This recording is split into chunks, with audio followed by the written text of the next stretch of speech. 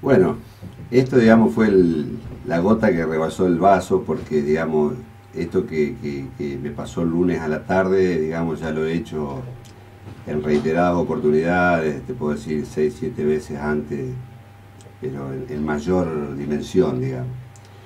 Este, bueno, hoy el, motivo, digamos, eh, de la visita no es precisamente ni ni una colecta al impenetrable, ni una colecta a la plata, es simplemente que este, lunes de la tarde venía del norte, San Carlos Norte, para acá, y vengo por un camino de atrás, que me parece que es el 25, y atrás del cementerio me encuentro con que la municipalidad habían hecho un trabajo, después de un reclamo que había habido de algunos productores y demás, hierba, se hizo un trabajo de mantenimiento de camino, vedado, un trabajo bien hecho, limpieza inclusive de ramas y, y maleza. Y me encuentro con que había una bolsa verde tirada que me impactó, y de, hecho vulgarmente me, calenté un poco, este, con 17 cajitas de leche larga vida tiradas, vacías por supuesto. Digo yo, mira así, digo, ¿quién puede usar en el barrio 17 leches de, larga vida, de cajita? Y venía a tirarla acá, cuando, digamos, podría llevarla tranquilamente al basural o, digamos, de última en la ciudad, en algunos sectores hay esos containers como para tirarlo, como yo cuando vengo del campo traigo mi bolsita y la pongo en el container.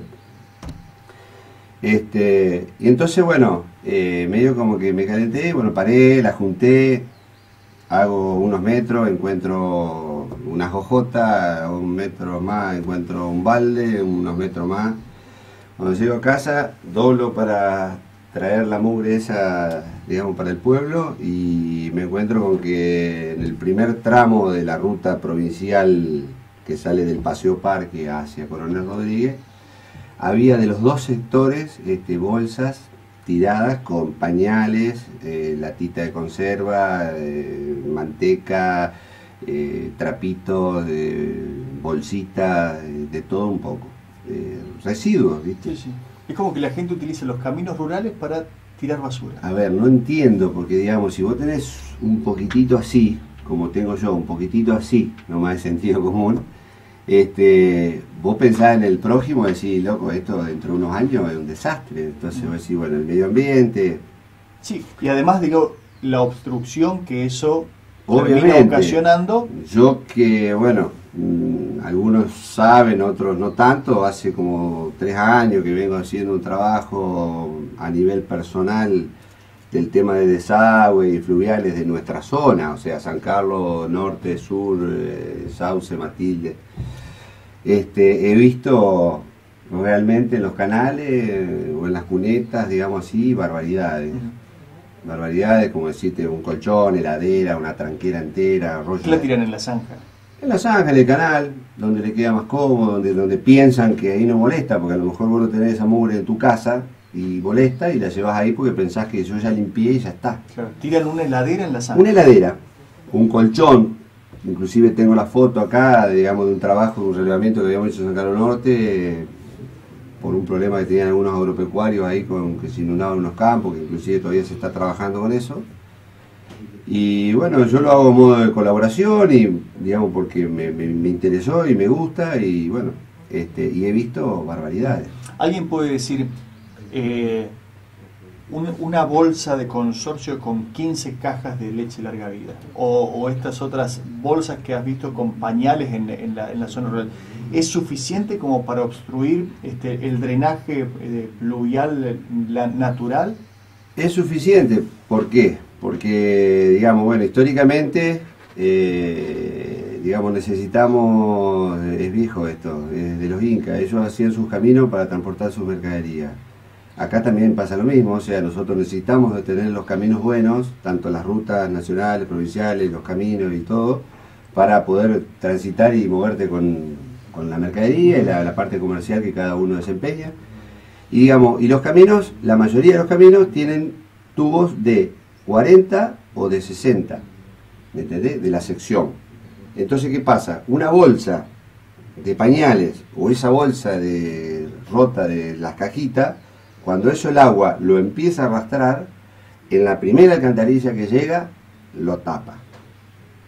Y ahí empieza el problema de Sí, sí, para un acumularse el agua productor, porque a ver, si nosotros nos basamos que geográficamente la pendiente nosotros la tenemos de San Carlos Del oeste hacia el este. de San Carlos Centro viene del oeste hacia el este en una parte de la curva de Gol más o menos estimativamente para allá baja y para acá baja. O sea, tenemos una pendiente hacia el Santa María y una pendiente hacia el Malaquía de los Troncos. En esa pendiente, si a nosotros nos agarra eso en, en una, en un camino rural, eh, que puede ser el camino de Esteve, el límite, el otro, el de Ya es suficiente para obstruir. este, es suficiente para obstruir.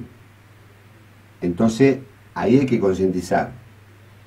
La parte, digamos, se puede decir, de ingeniería, está trabajando también en eso porque hoy ya vienen tubos que no son más los tubos tradicionales, redondos, los, los que todo el mundo usa normalmente. Hoy para los lugares principales donde hay un escurrimiento de agua muy importante se usa un tubo cuadrado de una sección de un metro setenta y seis por 1,50. Entonces, digamos, ahí tenés menos posibilidades de que la basura quede trabada y que eso cause alguna dificultad en la zona urbana o en la parte rural, digamos, el día de que una precipitación importante. Con una lluvia de 30 o 40 milímetros creo que no, no, no pasa nada, pero digamos, si llevan a venir precipitaciones como las que han venido, este, puede llegar a ocasionar. Pero aparte del, del problema de las inundaciones, que puede ocasionar conflicto a la ciudadanía, al productor y demás, también hay otra cuestión que es un poco, digamos, concientizar a la gente de que, digamos, No debe ser. no no lo debe hacer. Ni la botella siquiera, porque yo veo en el pueblo que gente que no lo hace por mala, sino porque a lo mejor lo ignora o no se da cuenta, pone su tarro de residuo, ¿me entendés? Con capaz que 6 o 7 botellas que están por arriba del tarro y cuando sopla la mínima rafa de viento esa botella se cae, porque lo he visto, porque, a ver, el que anda un poco observando esas cosas lo ve, vos capaz que pasás al lado, pasás por desapercibido de, ver eso, y se cae esa botella. Y esa botella, ningún ciudadano, o casi ningún ciudadano, para la junta.